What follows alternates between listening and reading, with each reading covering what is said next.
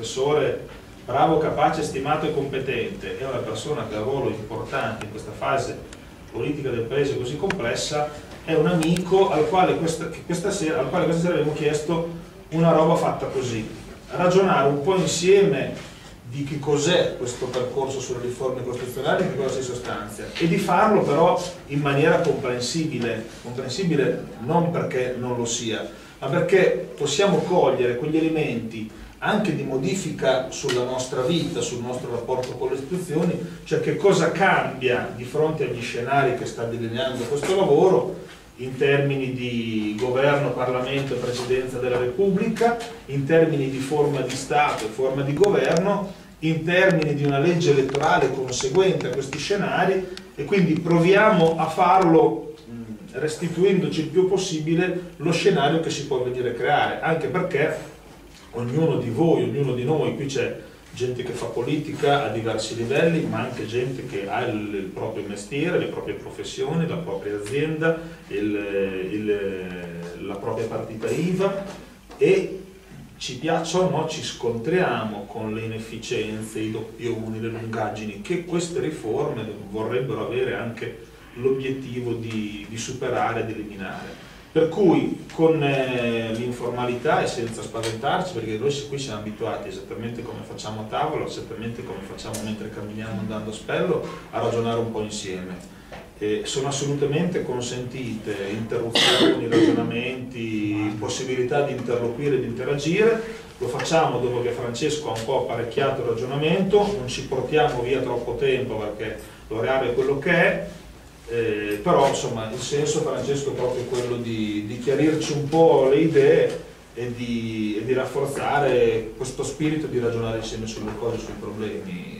Non, non ti abbiamo un po' con, con Beppe a tavola spiegato cos'è questa roba, è un bel esperimento che stiamo facendo da un po' di tempo con un po' di persone, prenderci un paio di giorni una volta all'anno che rafforzano anche un po' un impegno politico non solo attorno a Renzi, ma attorno anche alle dimensioni territoriali, al sostegno all'azione di Beppe e di Damiano sul, sull'esperienza regionale e, e, questa insomma vista anche la fase delicatissima. Noi abbiamo distrutto gli schemini che Francesco ha fatto a tavola su ciò che può accadere rispetto alla crisi di governo, di modo che non rimanga traccia.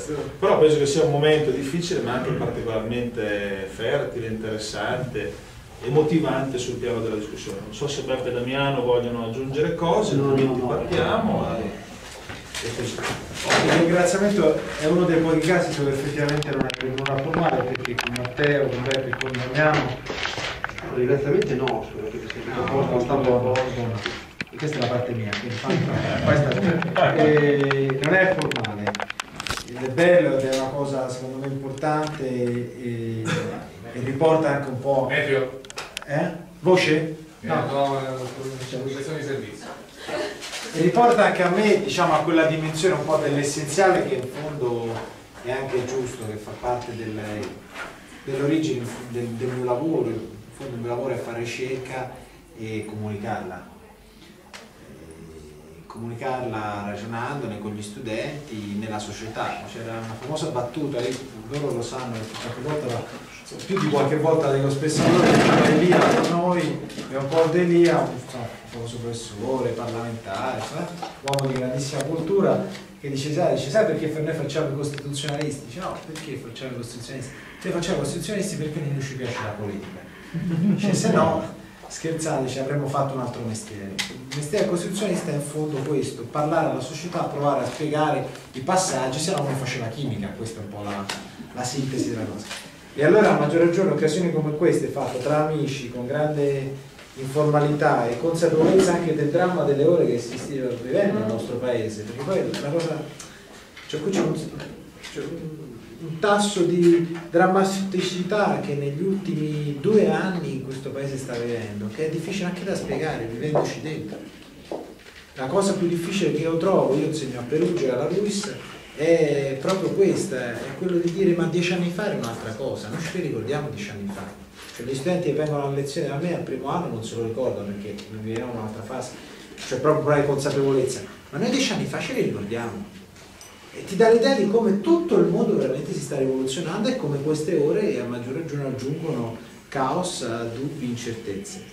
Su questo c'è questo lavoro che abbiamo fatto noi, questa commissione diciamo, chiamata inopinatamente dei saggi, perché torno a dire non parlano con le nostre mogli, ma questo è un altro paio di mani, ma, eh, che è stato un lavoro sostanzialmente che per certi aspetti di tipo ricognitivo per dare al Parlamento l'occasione di poter ragionare sui punti essenziali dei problemi da un lato e dall'altro anche per mettere di fronte al Paese a quella che è la vera, diciamo, oggi più chiara verità.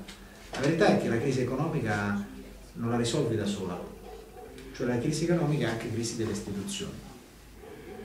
E per noi, per quelli che come noi credono anche naturalmente che le istituzioni e anche la rappresentanza sono i partiti politici, anche crisi dei partiti politici e dunque legge elettorale. Allora dopo tanto parlare, voi insomma inutile dirsi, si va in cattedra scrivendo libri sulle riforme ormai, sono quasi 35 anni, le tre bicamerali, pacchi e pacchi di libri, quante trasmissioni televisive, cioè tra la nazionale e le riforme istituzionali sono le cose che gli, e la legge elettorale sono le cose che gli italiani ormai il maggioritario proporzionale è roba che si fa senza problemi. Questa roba però deve avere un fine, un, un fine e una fine. Allora quando noi siamo stati chiamati in qualche modo a dare modo al Parlamento di mettere in ordine le cose, le priorità, il capo dello Stato nella riunione, insomma, il Presidente Repubblica quando ci ha convocato ci ha detto in maniera molto chiara e semplice ma molto netta due cose. Voi siete chiamati a fornire al Parlamento uno strumento per decidere. Voi non dovete decidere, il Parlamento ovviamente deve decidere perché è il termine iniziale e finale della sovranità, però voi avete un compito e questa è la cosa decisiva. Il compito è squadernare i problemi, offrire delle soluzioni, una più di una, spiegare gli effetti di quelle scelte e le conseguenze che ne deriveranno.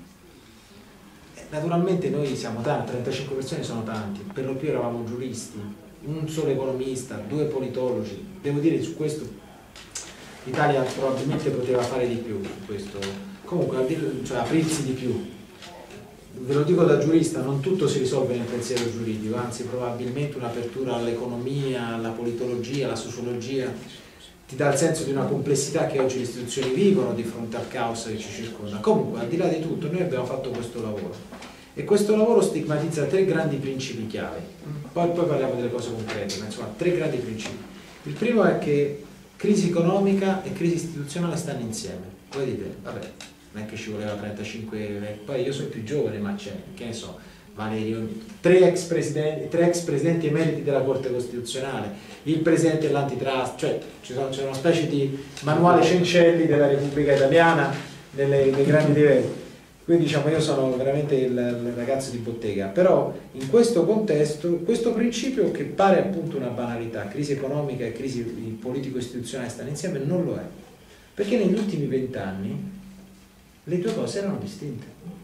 Innanzitutto perché così la crisi economica non c'è mai stata, secondo di poi perché i partiti politici hanno sempre dico i partiti per capirsi come soggetti istituzionali per fare riforme, questo problema se lo sono visto semplicemente squadernato in due casi, è un problema di legge elettorale o è un problema di riforma istituzionale. Il tema dell'economia non entrava, invece le, due le tre cose, economia, legge, ehm, legge elettorale e riforma istituzionale, stanno insieme perché crisi economica è anche crisi di meccanica. Questa sembra una grande acquisizione, in realtà non lo è e tuttavia solo oggi il nostro paese viene messo con tutta chiarezza di fronte. La bicamerale d'Alema, che era l'ultima cosa che noi abbiamo avuto istituzionalizzata da parte del Parlamento su questo, questo non la diceva. Allora perché dobbiamo fare le riforme? Perché se no non basta nessuna legge di stabilità per riportarci a pari ad una democrazia accettabile perché se non rifacciamo un sistema partitico adeguato, se non ridiamo chiarezza alla meccanica tra Camera e Senato, possibilità di decidere, evitare decreti legge omnibus, maxi emendamenti, schifezze tecnicamente varie, e non ne usciamo ugualmente. Quindi possiamo stare quanto ci pare sotto il 3%, comunque il tasso di qualità democratica sarà inferiore a quello della qualità degli altri, tutto qua e quindi siccome è un cane che si morde la coda anche la qualità della nostra economia sarà più scadente e via discorrendo. Questo è il primo principio.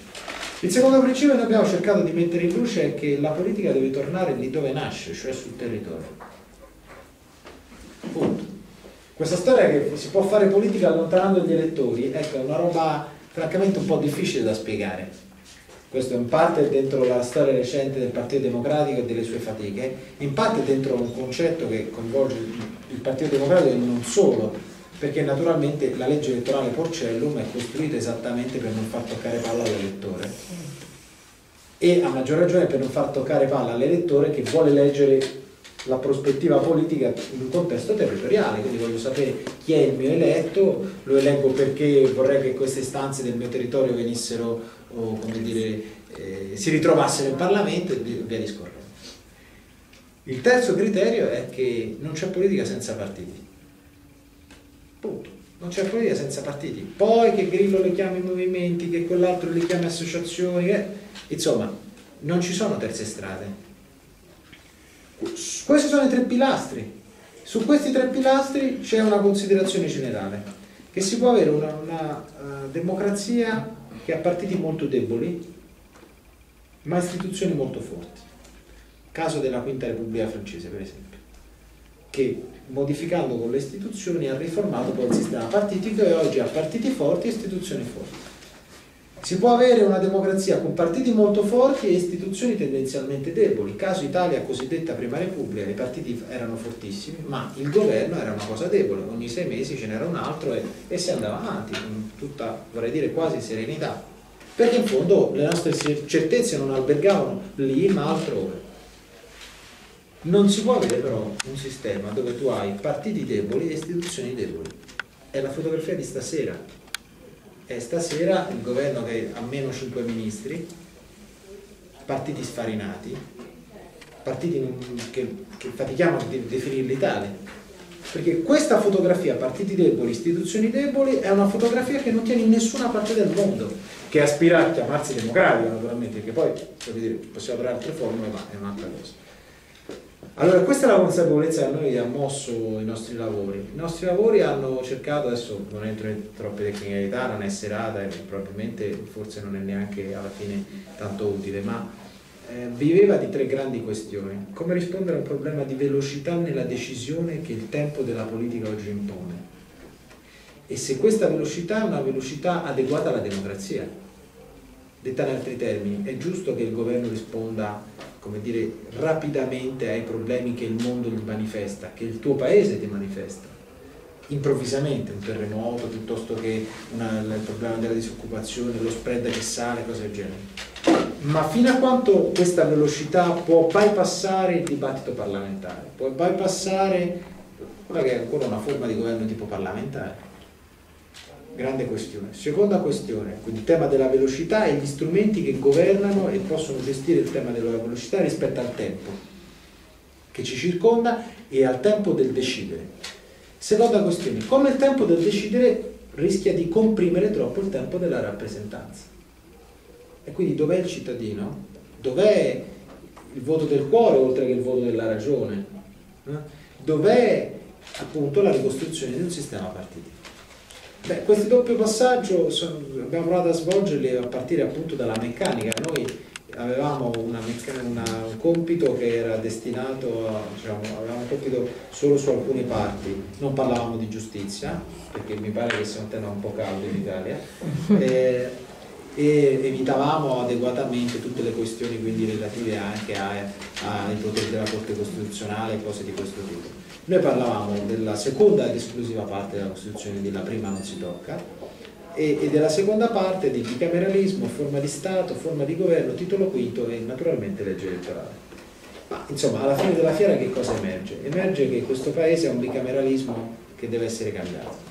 Due Camere che fanno esattamente la stessa cosa in un tempo così lungo, con una procedura a tre letture, rende sostanzialmente lentissimo il decidere anche la migliore decisione del mondo arriva troppo tardi.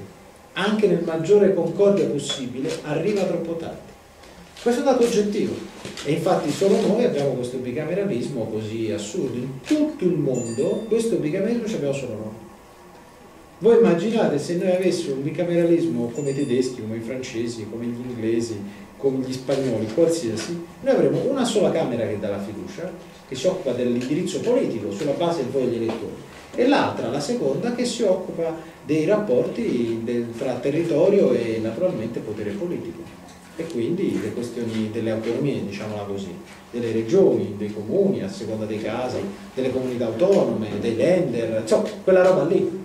Per dirla con eleganza, la Camera dei Deputati si occupa della forma di governo, il Senato si occupa della forma di Stato. La Camera dei Deputati si, occupa del rapporto fra eletti ed elettori, quindi l'indirizzo politico, il Senato si occupa invece dell'autorità politica e della distribuzione territoriale del potere. Questo non è.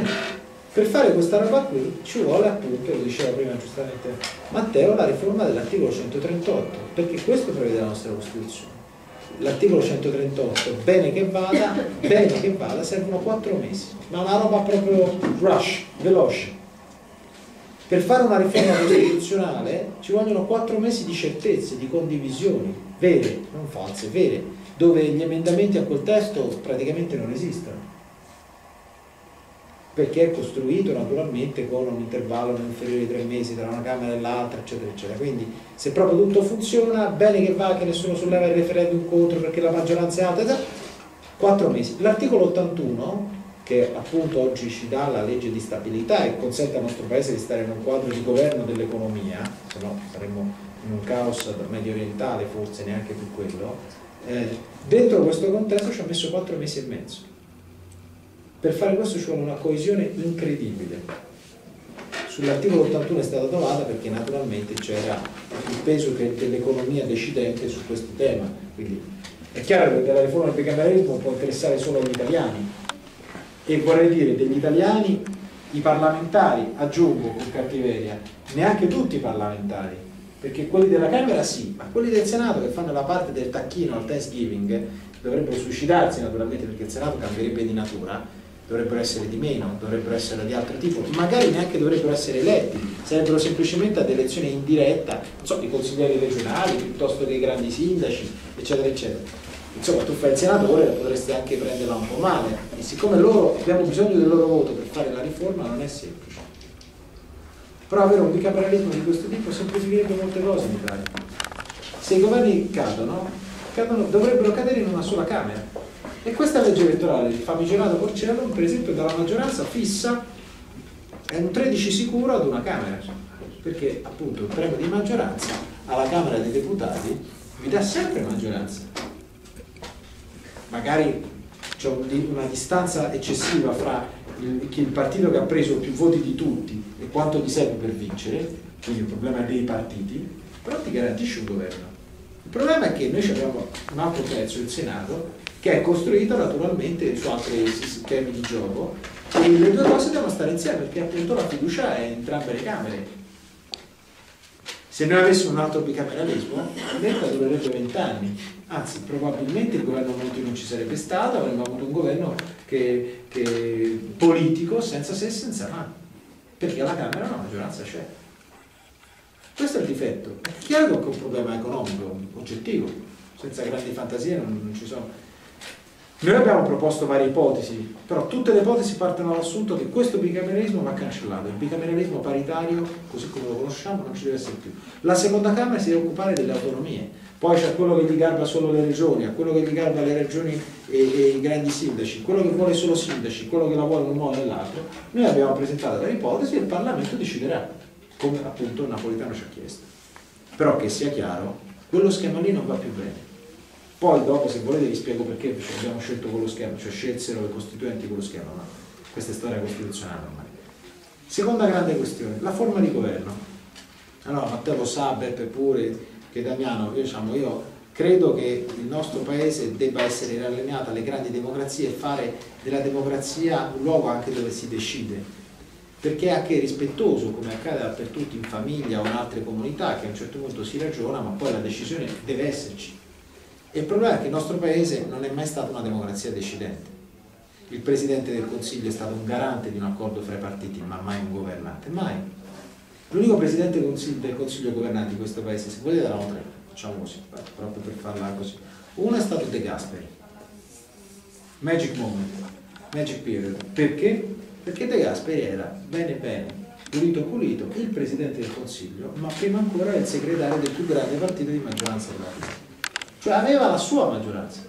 Quindi non è che avesse dubbi se proponeva al suo governo una cosa, che quella cosa non trovasse in Parlamento la maggioranza, perché lui era il leader di quel partito, con tutti i distinguo, le problematiche che la democrazia cristiana aveva, ma questo era un concerto e infatti il rilancio della nostra democrazia parte sulla base di certezza, la prima legislatura fa la differenza. Poteva non farla, intendiamoci, in altre realtà la prima legislatura è stata un flop. In quarta repubblica, la prima legislatura è andata, quarta repubblica francese, è andata a rotoli il sistema si è subito sviluppato. De Gasperi ha garantito che questa macchina il secondo Presidente del Consiglio così forte per ragioni storiche, contingenti e per una certa anche garibaldinità è stato Craxi che si è incuneato tra i due grandi partiti che erano tendenzialmente già in crisi giocando un po' con l'uno e un po' con l'altro ha tenuto.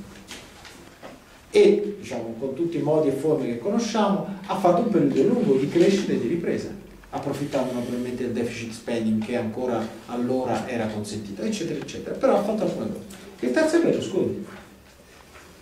Perché Berlusconi era quello dei 100 deputati, che poi lo abbia fatto, come dire, per altri fini, fini non proprio edificanti e molto tarati sulla sua persona. Questo è un altro paio di maniche. Che però avesse in mano il boccino, questo è indiscutibile. Di tutti gli altri, nessuno è mai stato in queste condizioni. Prodi era ostaggio Pro di 1 e Pro di 2 a seconda dei casi il Pro di 1 è l'ostaggio dei partiti. Ricordo D'Alema che disse caro professore noi le conferiamo la nostra forza.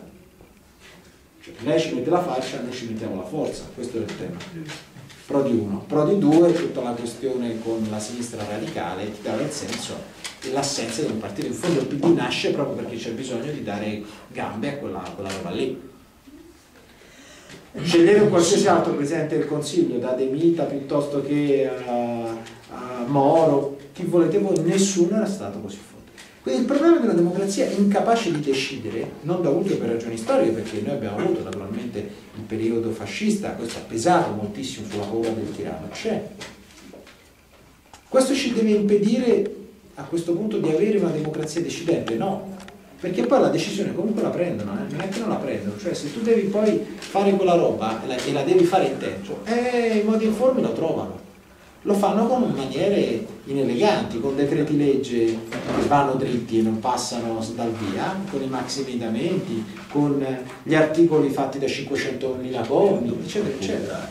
A quel punto il Parlamento non vede più nulla.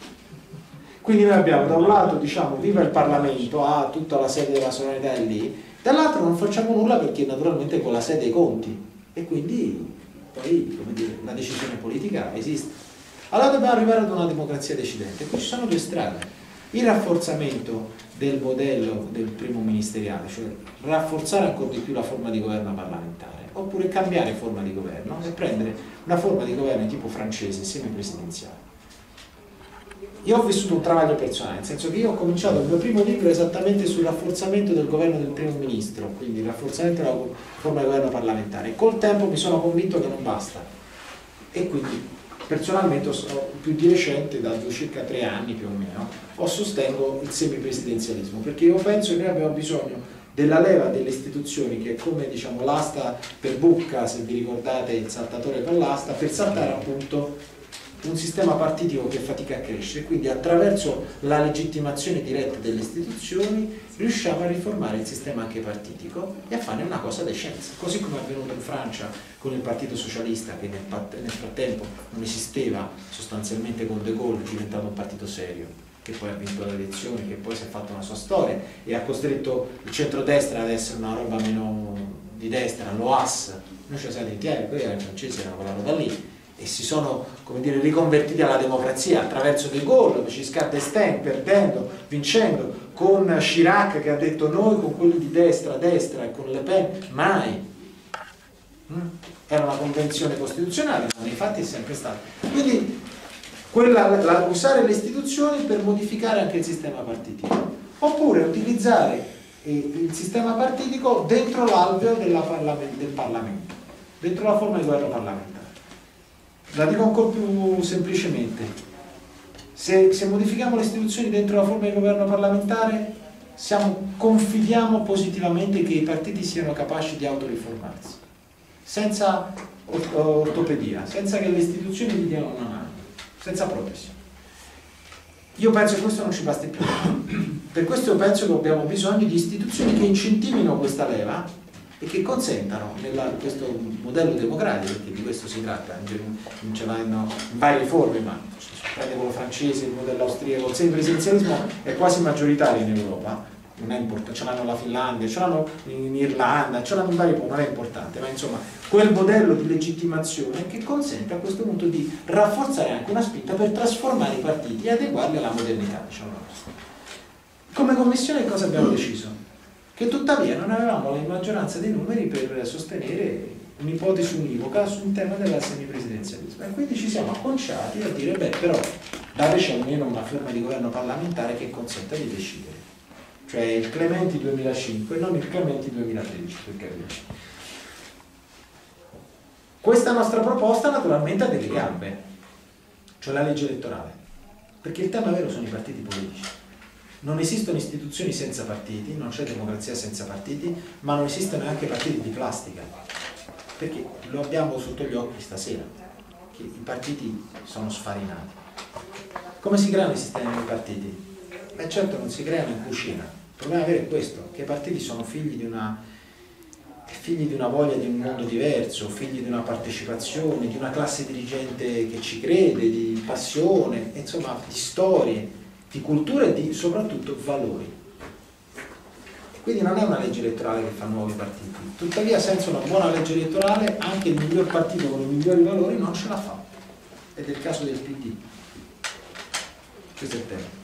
La nostra legge elettorale è una legge elettorale che è costruita sostanzialmente in due parti. La prima parte è una legge che cerca di valorizzare il dato del legame tra eletto ed elettore, basandola, vedremo, sullo schema dei sindaci, quindi con la proporzionale, con una soglia di sbarramento per evitare la disgregazione, e una seconda parte di tipo maggioritario che convoglia sostanzialmente a fare il ballottaggio fra i due partiti più forti che hanno superato la, il primo step, laddove nessuno dei due ottenga la maggioranza naturalmente. Ha un pregio o un difetto, dipende da come voi la leggete. Per me è un pregio il fatto di avere il premio di maggioranza. Il premio di maggioranza è naturalmente in sé per sé una cosa non bella, perché se tu hai preso 30, perché devi prendere 55 di seggi? Se hai preso il 30%, perché devi avere il 55% di seggi? Io, io te ne do 20 in più è tanto, 25 in più è tanto. Si chiama disproporzionalità. Tuttavia, in nessun paese al mondo la disproporzionalità non esiste. Auspicheremo tutti che un partito che fa 51. De Gasperi ci fece una legge sopra, che, che poi la approvarono, ma la democrazia cristiana c'era il 48% in questo paese, quasi come la Merkel. La Merkel ha preso il 42% ed è costretta, proprio perché non ha il premio di maggioranza, a fare una larga coalizione. O il 42% vuol dire che quasi uno su due in Germania ha votato la Merkel. Su 60, sono di più di noi, su 80 milioni di persone uno, più di uno su tre incontrandoli per strada tu hai votato la Merkel ogni tre ce anzi più di uno è tantissimo, è tantissimo. E tutto questo non le basta per fare un governo proprio, deve trovare un accordo di coalizione nel caso con l'SPD. Ecco, l'assenza di un premio di maggioranza lì è un cazzotto in un occhio, è quello che c'era il problema di Gasperi. La democrazia cristiana faceva 48, dice sai però non hai fatto 51, sei costretto al governo delle coalizioni. Però lì i piccolini, lui, lui aveva appunto era 48, gli bastava quel pochino per fare 51 e allora prendeva un po' di cespuglietti, diremmo un lessico di oggi, e faceva 51. Però, proprio perché anche loro sentivano quel problema, fecero appunto nel 53 il tentativo di una legge che desse un tantinello di premio di maggioranza per arrivare a 51 a chi faceva 45, quindi siamo a numeri noi ci sogniamo la notte. Però il premio a noi serve, perché il premio è un incentivo a fare per bene. Allora questa legge, noi ci siamo divisi, alcuni di noi ritengono il premio dovrebbe essere basso, io ritengo il premio debba essere, scusate, non il premio, la soglia per accedere al premio debba essere bassa, alcuni ritengono debba essere alta. Tradotta dal diciamo, più, più volgare sarebbe così. I partiti concorrono con la proporzionale, superano il 5%. Fai 40? Fai 50? Qual è, qual è la soglia per far scattare il doppio turno che poi ti dà il premio? Se tu fai 40, vai al doppio turno, se tu fai 50 vai al doppio turno. Quale scegli? 40 o 50? Allora, se tu scegli 40 la soglia, a te in fondo ti basta poco per fare 40, perché tu prendi tutto quello che c'è da te alla tua sinistra e fai subito 40. Oggi il PD rapidamente fa 40, PD più SEL più qualche altro, rapidamente 40 si fa. Rapidamente, Rapidamente, rapidamente no, però, lavorando su. lavorando, facendo un po' di usare uncinetto, un po' di figurine ci si arriva, via. Qual è il problema? Che uccide qualsiasi ricerca delle ragioni proprie che ti distinguono da quello che ti sta a sinistra. Non è necessario. Oh, e che bisogno c'è di darsele addosso? La coalizione sociale eh, ti porta al 40. Ma è un problema per chi come noi pensa che ci sia un po' di sana differenza da mantenere, diciamola così. Perché magari chi fa fuori questo 40 poi magari è disinteressato al governare. E invece noi siamo quelli che pensano che un partito serio è un partito che innanzitutto si vuole curare del governo del paese, non vuole cambiare le cose perché cioè, vede dei problemi e vuole dare risposte, cioè, senza grande filosofia. Allora la soglia bassa disincentiva la ricerca della scoperta di sé, per capirsi, l'identità. Non è portatevi sei, siamo tutti di sinistra, è una grande coalizione e via, andiamo. E non va bene dal mio, dal mio punto di vista, perché uccide qualsiasi idea di chi sono io, che è faticoso scoprirlo, è sanguinolento e anche vorrei dire mette a rischio la nostra stessa identità e, e esistenza di partito politico, ma c'è un problema da porsi, perché tutte le grandi democrazie sono, sono poste. Sono poste i francesi in Quinta Repubblica con il Partito Socialista, sono posti gli, gli, gli spagnoli con la rinascita della democrazia come Partito Socialista, gli inglesi, gli americani, i, ah, i tedeschi neanche a parlare. Okay?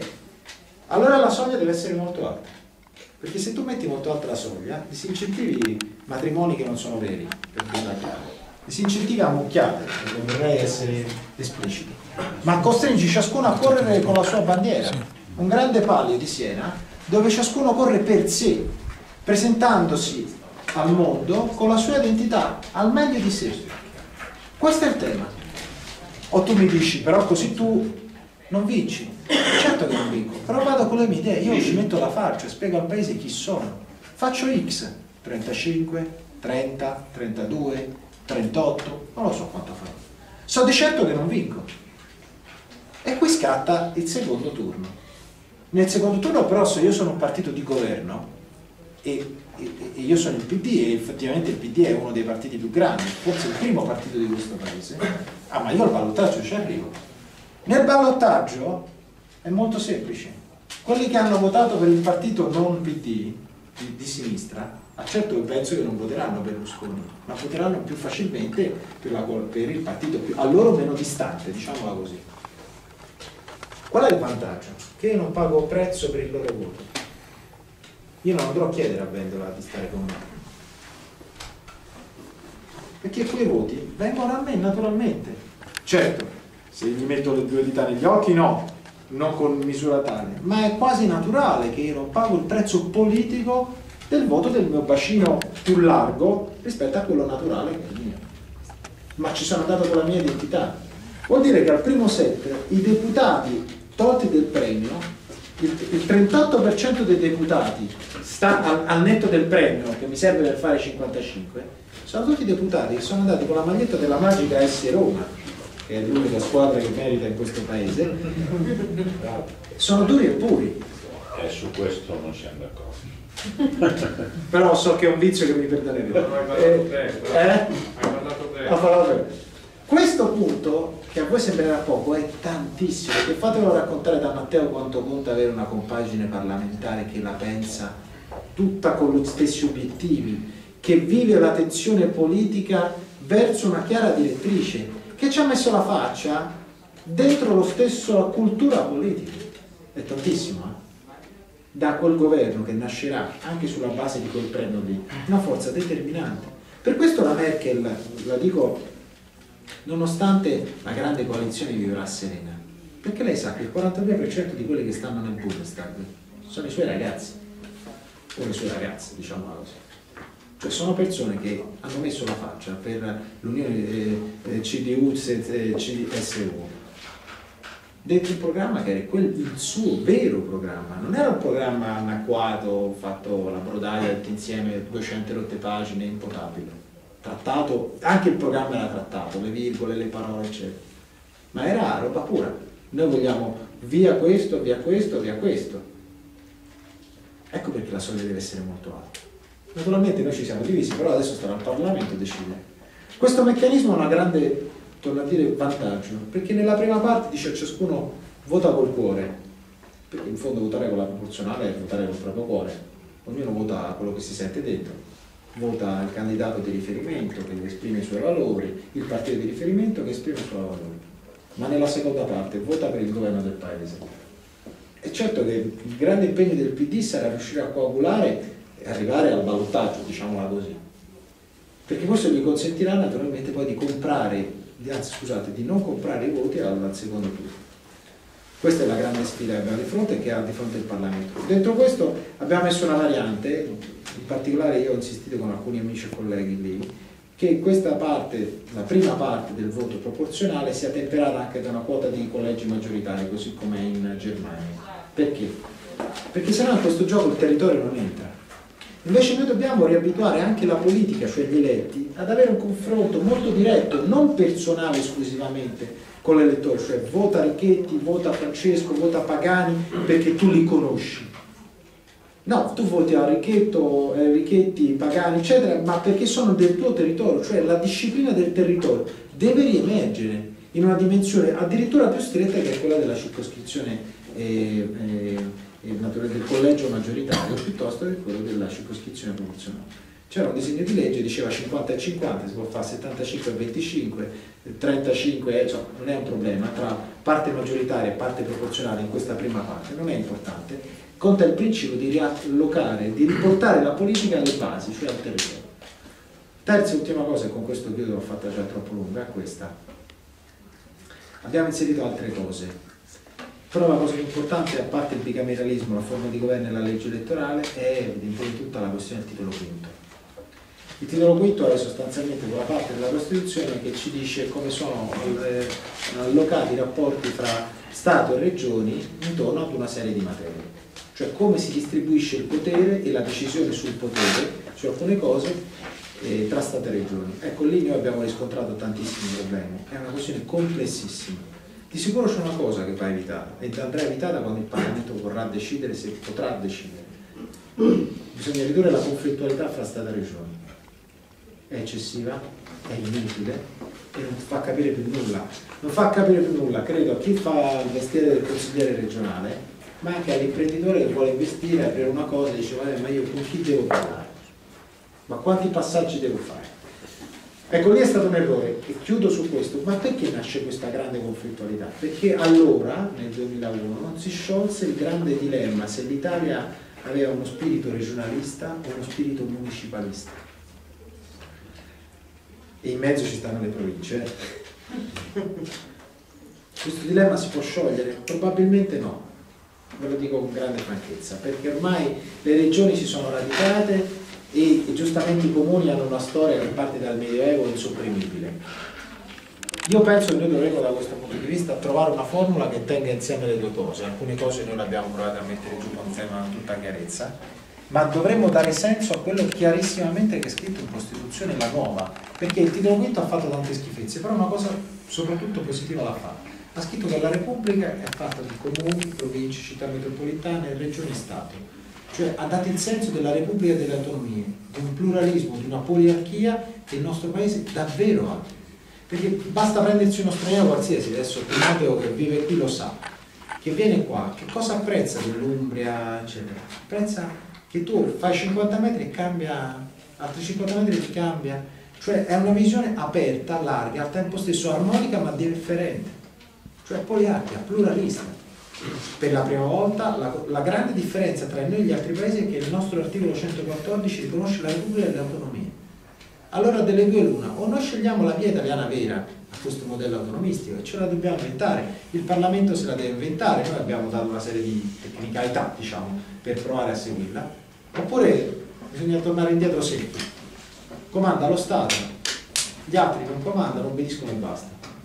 Però sappiamo che quella scelta lì è contro la natura sentimentale, prepolitica oserei dire di questo paese, contro la sua storia prima che contro il fatto, perché l'abbiamo visto, perché non si tiene.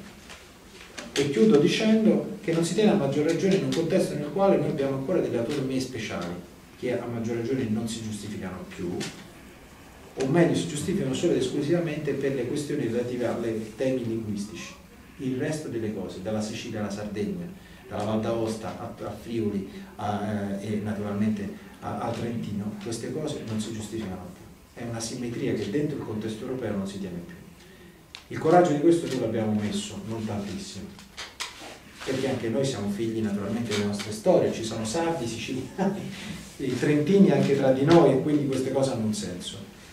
Però le ragioni della specialità devono essere riconfermate, perché se tu stai dentro un bacino europeo, ora io capisco la Sardegna allude un po' alla Catalogna, però certo la Val d'Aosta una spiegazione ce la deve dare, diciamola così.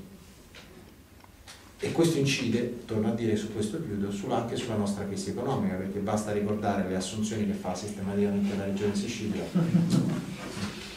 con un solo tratto di penna e questo chiudiamo o, o, come, o le allocazioni dei fondi che l'Università di Trento ha rispetto alla mitica Università di Perugia e anche questo ci fa capire le asimmetrie territoriali perché i nostri giovani vivono anche delle distanze. Ok, allora ho fatto un po' troppo lungo ma sono qui.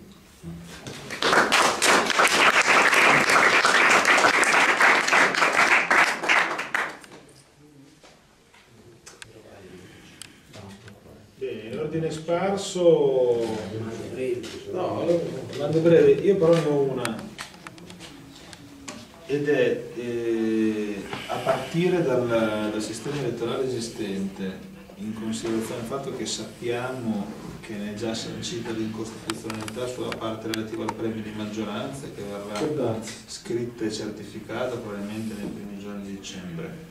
Io ho una percezione da parlamentare che si relaziona alle forze politiche. Tu ce l'hai perché i cosiddetti saggi sono comunque figli di un pensiero, di un'area, di un'ispirazione.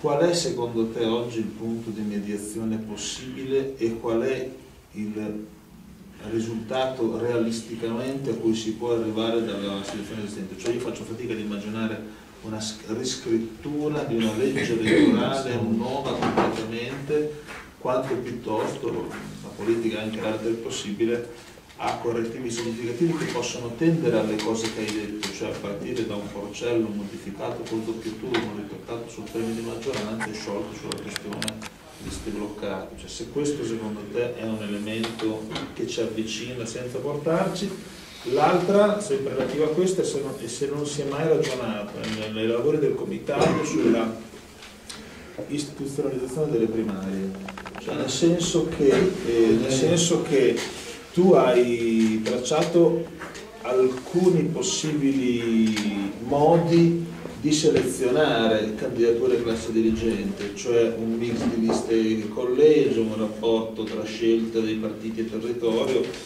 ma se secondo te, se qualcuno l'ha posto e se secondo te può essere un elemento di discussione dei, dei, dei, prossimi mesi, perché io penso che a compimento di un quadro che arriva anche alla forma di governo, una modalità codificata che rafforzi il fatto, a fronte di partiti così frantumati che la selezione avviene in maniera forte, potrebbe essere un elemento di discussione interessante. Subito? Sì, così nel mentre dopo facciamo un altro giro e... No, allora, parto dalla fine. Eh, io ritengo su questa cosa delle primarie sia decisivo. Però sono stato l'unico a dirlo, l'unico. Allora, siccome i nostri atti sono anche in audio, sono tutti disponibili, eccetera, lo troverete. Ed è stata facilmente derubricata, nonostante, come dire, io mi sia sdraiato in mezzo ai colleghi, no, a parte le battute. Purtroppo forse era la cultura politica che ci ha espresso tutti insieme, dove io ero molto minoranza e loro erano molto maggioranza, a non aver favorito e capito fino in fondo che le primarie erano una risposta, sono una risposta, primarie fatte per bene, fatte con legge di diritto pubblico, diciamo, no? non con una roba contrattata con Nico Stumpo, ma una cosa che, avesse, che fosse il Parlamento italiano a definirle, così com'è per esempio in Toscana o in Calabria, con tanti distinguo si potrebbero fare su entrambi i casi, ma comunque che dà delle garanzie giuridicamente vincolanti.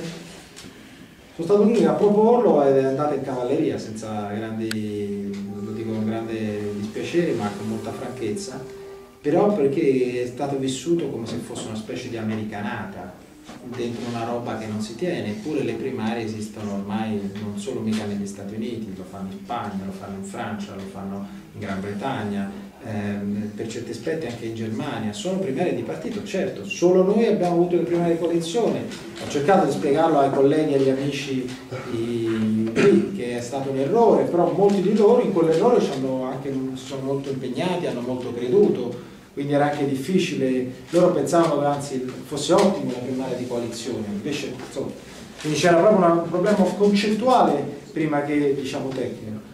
Io penso invece che le primarie siano uno dei canali da non sottovalutare proprio per ripristinare il rapporto fra eletti e elettori, perché incentivano un meccanismo positivo, perché avvicinano le persone, le costringono a confrontarsi, conoscono l'offerta, potrebbero anche rifiutarla, ma hanno modo di avere modo di è tanto in democrazia, eh? è una delle prime cose. Perché farlo con leggi di diritto pubblico? Cioè con leggi del Parlamento, per capirci Perché legge del Parlamento ci dice chi, chi può finanziare chi, quante firme ci vogliono per candidarsi, ci dice entro quanto tempo, ci dà le regole astratte che valgono per tutti, le garanzie. E se no diventa una specie di contrattazione sistematica nei vari partiti, ognuno se la arronza come vuole, dipende dall'annata buona, dalla contrattazione buona, da chi se fa Richetti tu vinci nella contrattazione, se fa Clementi tu perdi al tavolo delle, delle trattative, quindi affidare le primarie diciamo, a questo rischio mi sembra eccessivo. Tuttavia noi abbiamo perso, o almeno io ho perso, confido che il Parlamento su questo abbia modo di metterci le mani, ma eh, è stata scartata l'ipotesi di avvicinare gli elettori. La domanda di Matteo, la prima, no? È possibile votare il porcellum di modo che si riesca comunque ad avere una nuova legge elettorale? Allora, il dato in realtà, per essere più esatti, è questo, è che il 5 dicembre la Corte Costituzionale è stata chiamata a decidere se può decidere di modificare la legge elettorale. Allora, io ritengo che il testo che gli sarà sottoposto, il ricorso che gli sarà sottoposto, sia in sé inammissibile, perché non entro nella tecnicalità, comunque vi dico semplicemente, il ricorso della Cassazione alla Corte Costituzionale non esiste nel nostro ordinamento. Si può dare alla Corte Costituzionale per due casi, o in conflitto fra Stato e Regioni, o dentro un processo. Siccome roba, il ricorso della Corte di Cassazione non, ha, non è né l'uno né l'altro, ci devono ancora spiegare come, come, perché la Corte potrebbe accettare di decidere. Può darsi per motivi di politica del diritto, diciamola così. Mm. Se così fosse, può darsi che esattamente sia dentro quell'alveo che dice Matteo, cioè che la Corte accetti di decidere perché abbia in testa di abbattere i premi di maggioranza. Oh, questione che non è irreale, eh? perché la prima dichiarazione fatta dal nuovo Presidente della Corte Costituzionale, che è diventato Presidente la scorsa settimana, Gaetano Silvestri, è stata appunto che nutro perplessità sulla legge elettorale. Si potrebbe dire, Com'è che nutri perplessità solo oggi quando 1.700.000 firme sono state portate in corte il, in, nel gennaio dell'anno scorso? Com'è questa storia? Com'è che la Corte si è svegliata così tanto? Perché all'epoca quando noi portavamo le firme, ho fatto tutti i referendum sulla legge elettorale, la Corte ci disse nei fatti, per le righe, nel metalinguaggio che utilizzano i giuristi, non si può disturbare il governo Monti e quindi voi ci destabilizzate e quindi non rompete le scatole. Quindi la legge, voi, questo, questo quesito era ammissibile, crediamo. Hanno deciso che invece effettivamente questo problema può darsi che lo discutano. Se lo discutono il problema si proporrà a gennaio-febbraio perché la Corte deciderà a gennaio-febbraio. E allora lì entra lo scenario che dice Matteo, cioè la Corte ha di fronte il porcello, cosa prende e cosa lascia perché deve lasciare qualcosa un po' applicabile, questa è la regola, che domani mattina funziona già. La Corte decide oggi, domani si può sciogliere le Camere perché c'è comunque una legge elettorale. La Corte può introdurre, non so, può, può, la Corte può cancellare le liste bloccate? No, perché se tu cancelli le liste bloccate devi dire che si seleziona diversamente ma la Corte non può dire come fare le cose, può solo dire che le cose fatte non sono buone. Alla fine, sfrondato dello sfrondabile, la Corte può semplicemente attaccarsi, e non sarà semplicemente, ma è una cosa molto seria, premio di maggioranza e dire che dare la stampella per chi non arriva a 51 non è una cosa buona e abbatte il premio. Se la Corte abbatte il premio, qual è la legge elettorale che abbiamo di fronte? Una legge tutta proporzionale, senza premio, sostanzialmente una legge che confida che almeno ci sia un partito che faccia 51. Ora, non è che ci vuole una laurea in scienze politiche per vedere in Italia nessuno farà 51 nei prossimi 10 anni probabilmente. Anche se tu metti Maradona a giocare davanti, mano di Dios non ci aiuta a fare 51 ugualmente. E quindi che cosa vuol dire? Vuol dire che ci condanna la larga coalizione fissa. È il caso Merkel. Puro e semplice. Tu c'hai la Merkel che può piacere o non può piacere, ma ora che c'è il 42% del suo paese, che sono tedeschi, non è che siano proprio gente abituata al carnevale di Rio, quindi è gente che pensa quando vota, fa scelte razionali in via generale, diciamola così e nonostante il 42% lei è costretta a larga coalizione. Fammi immaginare in Italia, tu fai larga coalizione finché io non divento vecchio e forse anche dopo, perché magari funziona. Cioè, tecnicamente potremmo avere di fronte nei fatti una mutazione genetica nostra, del nostro rapporto eletti-elettori colleghi ritengono che eh, potrebbe accadere a questo punto che il Parlamento in un sussulto di dignità, che era l'ultima fase finale della battuta di, di, Matteo, faccia a questo punto del maquillage a questo porcellum deporcellizzato dalla premia. Vero? Può darsi. Di sì, come può darsi però di no. Anche lì noi lo affidiamo alla buona volontà, ma soprattutto ai vantaggi e agli svantaggi che deporcellizzare o porcellizzare ulteriormente questa nuova legge potrebbe avere. E allora vi faccio la domanda al contrario, a chi conviene avere un governo che decide? Un governo politico? Al PD? La PD è una cosa unitaria? Al PDL? Ma il PDL se la butta in casciara mi pare che sia abbastanza evidente, eh, non è che gli va troppo male, soprattutto se sa di non vincere, e che quindi è meglio rischiare di andare in larga coalizione piuttosto che rischiare di perderli. A Grillo? Ma Grillo serenamente se c'è la larga coalizione sale nei sondaggi, mica si abbassa nei sondaggi. A Sell? Ma Sell mi pare che ha tutto il vantaggio di poter o stare dentro eh, tagliuzzando, taglieggiando dall'interno, o stare fuori e sparando a cannonate. Guardate, di questa cosa, l'unico a cui conviene è il PD, ma un PD che aspira al governo del paese. Ora, in mezzo a questo gioco il PD ha anche il suo problema che è il collasso, che a maggior ragione aggiunge benzina in questo contesto.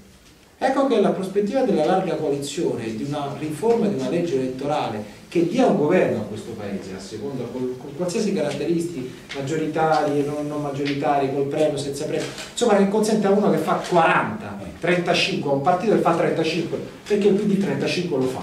Se per bene si impegna con un buon candidato leader, il PD 35 lo fa, noi condividiamo l'idea che Matteo Renzi sia un buon candidato leader, io penso che Matteo Renzi 35 lo fa, ok?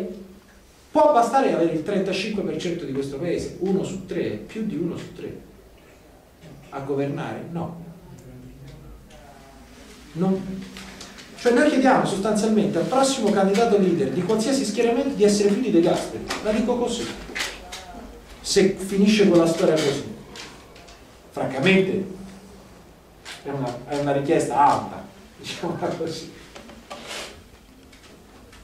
Non dobbiamo però dimenticare che probabilmente le larghe intese fanno, cioè coloro a cui fanno comodo le larghe intese sono molto di più di quelli a cui non fanno comodo. Ecco perché il PD si sta impegnando, ecco io vedo in questi giorni molti del PD che dicono la legge elettorale, la legge elettorale. Allora io qui alla fine, al di là della Corte, che torno a dire secondo me non accetterà di discuterne, ma laddove accettasse dovrebbe essere proprio un moto dell'animo di chiedere una legge di governo che consenta di governare. Perché vorrebbe dire a quel punto se no rinunciare al PD facciamola bene Il PD ha un senso solo se aspira a fare questo, a essere come gli altri partiti grandi dell'Europa, una volta vince, una volta perde, ma quando vince vince. E se no, la verità dice la democrazia cristiana, il Partito Comunista, il Partito Socialista, i liberali, tutti gli altri, che non avevano bisogno di interrogarsi, si mettevano intorno al tavolo e governavano lo stesso, ma era un altro gioco. Noi vogliamo quella roba lì? Non lo so. Io penso di no, io sono cresciuto pensando di no. Non mi sento anomalo. Guardate, i tedeschi sono finiti lì, in larga coalizione, col 42%, perché il sistema è costruito per portarli pochissimo sempre lì. Hanno fatto una riforma della legge elettorale in Germania a maggio per arrivare lì. E la Merkel l'ha accettata perché aveva bisogno in realtà di succhiare i voti dei liberali, che infatti non sono entrati in Parlamento. Sono, sono al 4-8%, con una soglia di sbarramento al 5%. Ma c'è un grande ma. Questa operazione porterà in Germania al prossimo voto, qualsiasi prossimo voto, è filmato, quindi diciamo, vi potete rinvitare e dire che sbagliavo, alle elezioni europee del prossimo anno ci saranno il partito Alternative für Deutschland, alternativa per la Germania, i nazionalisti, diciamola così, che oggi non sono entrati in Parlamento, ma il prossimo giro sbaccano. Perché la Merkel ha, ha come dire, polarizzato al punto tale da succhiarsi il lato centrale della dialettica politica, l'SPD è salita di solo due punti, cioè niente, se lo sono meritati perché lasciamo vedere che cosa l'SPD oggi in Germania, ma non è un problema quello ma in qualche modo polarizzato al punto tale facendo crescere questo tasso di, di, di, di come dire, radicalismo. Questo è il problema. Siamo stati liberali, Eh sì. siamo andati al Parlamento, siamo andati fuori dal Parlamento. Esatto. A questo punto questo radicalismo rischia ovviamente da un lato di aumentare la larga coalizione, ma al tempo stesso di aumentare anche il populismo. Guarda, il male maggiore che gira per l'Europa e tutti i paesi dell'Unione Europea e quindi anche poi sarà, vedrete nell'Unione Europea, è questo. La larga coalizione è una conferma del populismo. Vuol dire che nessuno è capace di battere l'antipolitica. Questo è il problema. Ed ecco perché io spero che noi non arriveremo a lì e se la Corte accetterà di discutere abbattendo il premio, auspico che il Parlamento e soprattutto il PD dica al Paese, ai poteri forti, a quelli meno forti, a quelli che aspirano a essere tali, noi esistiamo solo perché vogliamo governare. Se no era molto più bello, ognuno stava a casa sua, quello ce la difendeva il lampione, quell'altro difendeva la sedia, il voto del cuore e va bene così. Larga coalizione fissa, il Presidente del Consiglio è un garante di un accordo, chi sia Tizio o che sia Caio poco importa. Quella roba lì però allontana gli elettori dagli eletti, quella roba lì allontana il territorio dalla politica, quella roba lì uccide il principio di sussidiarietà e via discorrendo, tanto per essere chiari. Altre domande? No, due cose. Vai. La prima è, è la proposta che il comitato di Bolsaggi eh, formulerà è, già formulato, è che è condivisa da tutti, è, è un punto di arrivo, cioè non ci sono... No. Ci sono, sono previste le il meccanismo delle preferenze? Vai, dai, ok. E, Allora- è la cosa che mi interessa. E, e poi dopo il, il discrimine tra il- la sticella e, e dove agganciare il premio di maggioranza. E nella proposta sono state formulate più, più ipotesi o eh, c'è già un punto di, di- di- di mediazione? Allora, siccome noi non dovevamo decidere in senso proprio, perché noi siamo tecnici che forniamo al Parlamento, noi abbiamo fornito varie conversioni. Laddove c'era un po' di convergenza, non si è- cioè noi non votiamo, non abbiamo votato tra di noi, quindi c'è il famoso, la fictio iuris si chiama il consensus. Larga, alcuni dicono che, altri dicono che, una larga maggioranza dice che, questo troverai nella fasetta scritta. E su questo troverai che la maggior parte di noi si ritrova naturalmente dentro uno schema che rafforza l'istanza di governo. Sulle preferenze in senso stretto c'è scritto che alcuni ritengono buone le preferenze, altri ritengono meglio i collegi, però ecco, trovi alcuni e trovi altri. Non c'è una decisionalità in senso stretto sul punto. La cosa che però da rimarcare è questa, è che eh, dentro questo contesto, in entrambi i casi, badate bene, tanto le preferenze quanto i collegi però vincolano sostanzialmente la politica a parlare con l'elettore, diciamola così, ad averci un rapporto minimo, che sia la preferenza che sia il collegio si devono conoscere. Questo c'è, perché il problema vero rimane esattamente questo, che l'attuale legge elettorale può far sì che se mi mettono primo in lista io faccio le vacanze durante la, i mesi di campagna elettorale, Perché mi guardi, scusa? perché tu non eri in vacanza. Sì, Vai, però io devo chiederti una cosa, perché Aspetta, se- c'è- ah, scusa. Figurati. Ma io volevo fare una, cosa, una sicuramente del tutto personali e, e sicuramente anche dire, forse in controtendenza rispetto a ciò che può emergere questa sera.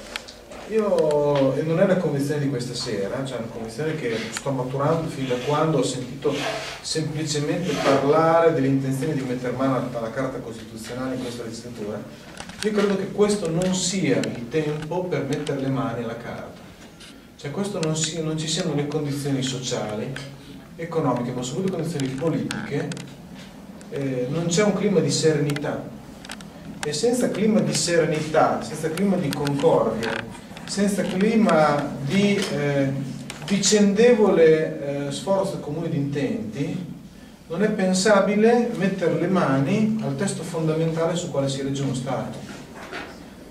Mettere le mani in una condizione in cui gli interessi sono totalmente contrapposti, in cui i partiti presenti nell'attuale Parlamento sono il risultato di operazioni personali, di operazioni personali economiche e eh, per lo più in condizioni di discutibile eh, base e percorso democratico di genesi, di democrazia interna, di pluralità di pensieri, di forme di autocontrollo, di trasparenza. Cioè non siamo in una condizione in cui sia pensabile mettere le mani alla Carta Costituzionale.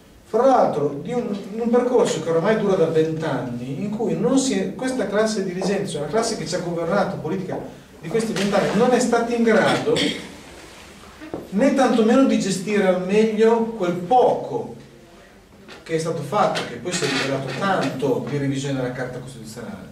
Due occasioni. Il titolo quinto, il pasticcio Calderoli, nella baita di Lorenzago di Cadore.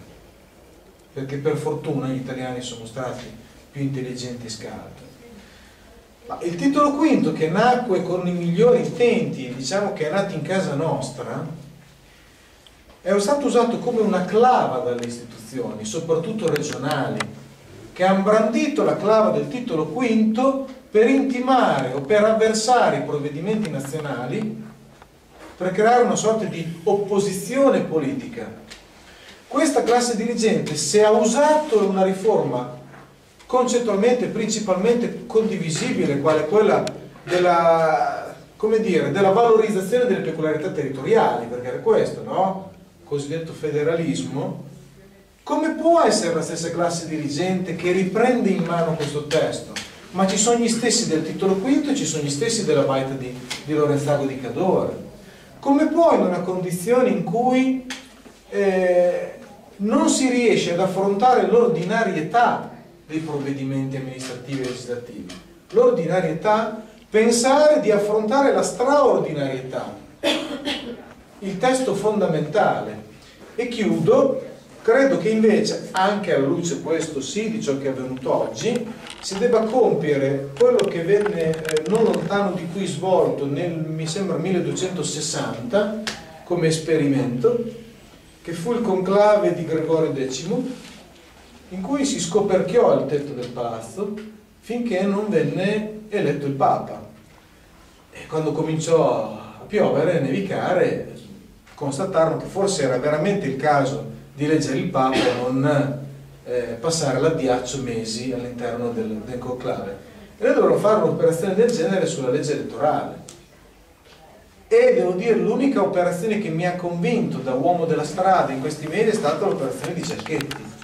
Cioè non ci si trova e non ci si troverà mai d'accordo su niente sulla legge elettorale, l'unico passaggio di decenza sulla quale veramente va fatta un'operazione alla Gregorio X è si azzera questi vent'anni di vergogna e si torna al punto di partenza. Tanto siamo al punto di partenza come condizione sociale e economica, possiamo esserlo anche come condizione politica. Abbiamo perso vent'anni di storia e quindi ripartiamo da di lì.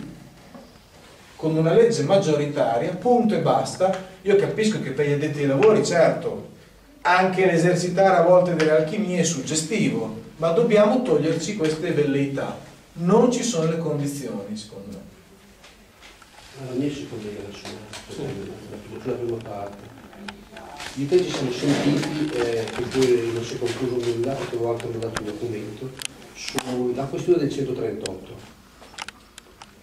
So perfettamente che gli costituzionalisti, tra cui Dossetti, dicevano che la seconda parte doveva essere emendata, che era troppo rigida, c'era la preoccupazione che uscivamo dall'esperienza fascista, eh, il, il bilanciamento dei poteri, però si è aperto un dibattito sul piano culturale dove a me infastidisce questa sinistra ostrica e champagne che interviene sulla Costituzione non si tocca. D'altro lato però è questo precedente, con tutte le garanzie, la terza lettura, prima, seconda, terza, terza, però di fatto un precedente per cui tu vai a modificare l'articolo 138 per mettere mano alla Carta Costituzionale, perché se no in Italia non si decide mai niente, tutte motivazioni giuste, a me continuano a nascere dei dubbi.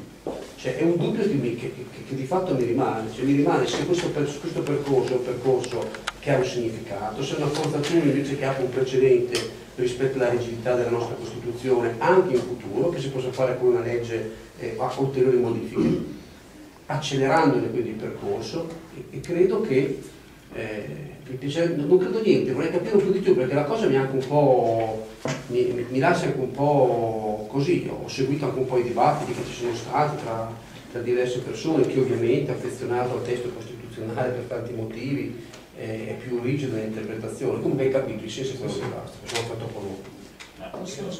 Lo chiede, prego. Anche io mi collego, mi inserisco perché è strettamente collegato. Anch'io la pensavo come lui fino a qualche tempo fa e stasera hai secondo me anche chiarito abbastanza bene il perché eh, si può andare nella direzione della riforma proprio collegando questa debolezza che per noi è chiara, economica insieme alla debolezza politica, insieme alla debolezza delle istituzioni. Cioè il tema è, è qualcosa in questo momento qua bisogna fare perché sennò comunque la crisi è talmente grave e talmente estesa che comunque è come il terremoto, è già successo, cioè, quindi eh, credo stasera hai chiarito a modo quali sono gli aspetti che hanno creato questo cortocircuito del nostro paese e quindi io credo invece che la riforma debba essere fatta, specialmente per quello che riguarda il bicameralismo perfetto e il fatto che noi comunque facciamo parte di un mondo e quindi se noi siamo diversi da tutto il mondo bisogna che ci domandiamo eh, di avvicinarci a quello che è tutto il mondo, perché siccome noi oggi siamo strettamente collegate, le persone sono strettamente collegate, l'economia è strettamente collegata, noi non possiamo pensare di rimanere isolati. E, e l'altra cosa è, è vero che c'è stata eh, e c'è questa crisi per cui la classe politica viene, eh, gode di un discredito generale, ma anche forse perché c'è stata questa mancanza di collegamento, per cui quella che è una crisi più generale viene letta, poi c'è anche sicuramente la crisi de, delle, degli uomini politici, ma non può essere così per tutti. Cioè, quindi c'è anche questa lettura per cui oggi qualunque, addirittura lo dicevo io sono amministratore locale, fino a qualche tempo fa gli amministratori locali venivano salvati, quindi si parlava male degli amministratori a Roma, dei regionali, però quelli che erano sul territorio si salvavano. Oggi comincia a cambiare l'aria anche per quelli locali perché comunque nel momento in cui vengono utilizzati come esattori per conti dello Stato e comunque hanno questo rapporto per cui devono continuamente chiedere tasse perché poi devono mandare metà dell'IMO a Roma eccetera, quindi a questo punto qua vengono eh, anche loro vissuti come vessatori, quindi mi sembra che questo cortocircuito eh, possa, che esiste non possa più trovare delle soluzioni. Altra cosa che non avevo capito all'inizio era il perché della commissione dei saggi, diceva ci sono i parlamentari perché ci deve essere anche la commissione dei saggi. Mi sembra proprio che sia questo momento di estrema gravità che crea la necessità di approfondire la materia proprio perché forse c'è anche questa crisi. Credo che non sia così facile farla passare, specialmente per quello che riguarda il Senato. Perché è un, un loro problema, ormai ne siamo fuori. risolto, no? Eh? Fate risolto. È risolto. Ma io ho una domandina veloce veloce per aggiungere, perché una cosa che mi ho dimenticato di citare è stata un po' la vicenda che ho finito del bullismo istituzionale sull'abolizione delle province. Ah, certo. Ecco, quali ricette ci sono in giro? Perché noi siamo intervenuti in maniera roboante, i conti sono semplici, 200 milioni di euro. Quindi è solo un drappo che viene sventolato davanti al toro. Beh, insomma, 200 milioni di euro non sono i conti. Sì, perché le strade infatti le chiudiamo, noi ne abbiamo 1200 km, le chiudiamo, abbiamo deciso di chiuderle, quindi quelle che sono il 70% del nostro conto non ci sono più. Eh, ah, eh, ragazzi, è così. Eh, ecco, quali, quali, quali proposte ci sono su questo tema? Allora, eh, c'è un tempo giusto per riformare l'istituzione? Oddio, però no, stai tranquillo, ci sono troppi parlamentari che sono province. No, volevo chiedere solo questo, proprio perché ci sono valutazioni di principio e soprattutto mi pare che non si creda che effettivamente anche stavolta si riesca poi a cambiare qualcosa, probabilmente, proprio perché per capire meglio la Commissione ha finito i suoi lavori e ci sono, si sono create dentro la Commissione, c'erano opinioni, posizioni diverse delle maggioranze, eccetera.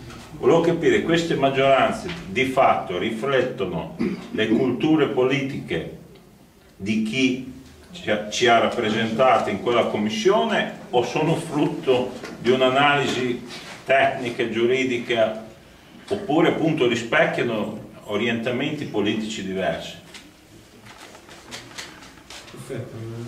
Questa me la cavo subito al volo dicendo che ciascuno di noi ha delle idee naturalmente e è una cultura politica eh, che sostiene anche la politica del diritto e dunque le sue scelte che si sono agglutinate in realtà non sulle classiche linee politiche, diciamo così destra-sinistra, ma proprio sulle questioni diciamo, della nostra materia.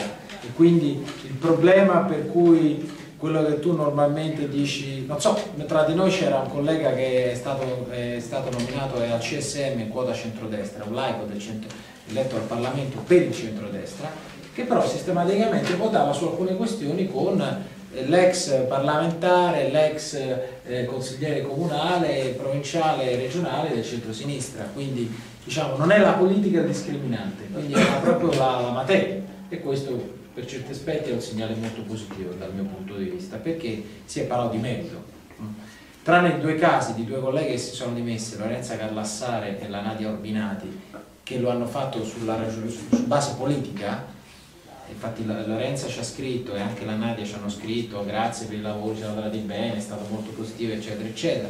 Noi ci dimentichiamo perché Quagliariello ha detto che il processo a Berlusconi è una, un attentato alla Costituzione una roba adesso mi ricordo anche più la frase.